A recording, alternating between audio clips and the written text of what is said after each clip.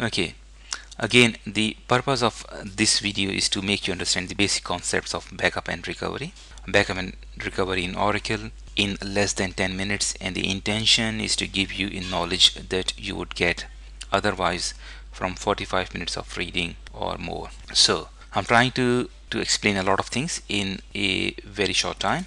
Everything in green is a part of Oracle's memory structure. Every component that has a blue color or even this color is a physical file on a data storage device such as a hard disk. Active data files. And I don't know what, whether the word active is an official word from Oracle. By saying active I'm saying that the data files that are being used by Oracle background processes to write your data. Background memory process.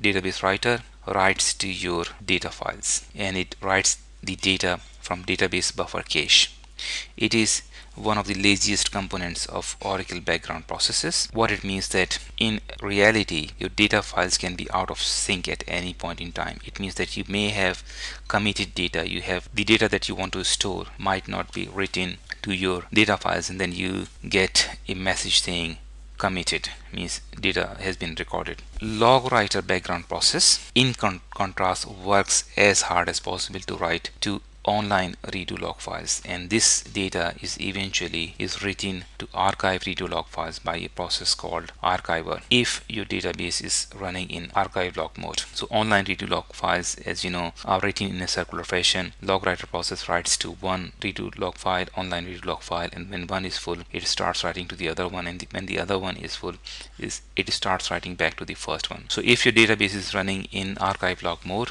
what happens before this file is rewritten. Archiver process writes this data to archive redo log files. Suppose you were a big warehouse. Suppose you were a big warehouse and you had 1 million different types of parts in your uh, warehouse and in your database and your company decided to increase the prices by 10% on every type part that you have. So what you'll do you'll issue a DML statement. Update parts set. Price is equal to price plus price times 0.10 so you're increasing the price by 10% on every type of part that you have and you have 1 million different types of parts in your database. And you issue a commit statement. So in order to update this these 1 million records a database writer might take hours. The log writer simply has to do what log writer simply has to do is to simply write this statement to online redo log files. That's it. So it will take fractions of a second instead of hours that are taken by database writer background process. So what happens when database writer is in the middle of writing something and you lose power to your computer to your server you still have that you still have this statement either here or here to rerun the statement and then store this data and make database writer process to write and store this data back to the data file. And that's how you that is known as recovery. So you don't want to lose any committed transactions. This is your database. Well part of your database and this is your data file one of the one of the data files okay? And this is day one. So on day one at the end of day one you have a number of records in your database.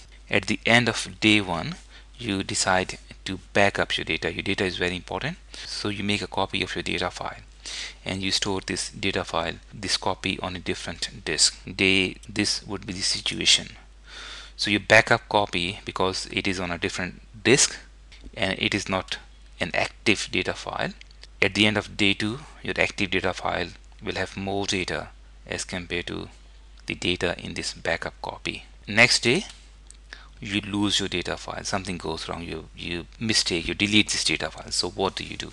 So you try to copy this data file from your backup and you copy it to this location from where this database can use this data file and start writing it again. But this data file is missing a lot of data.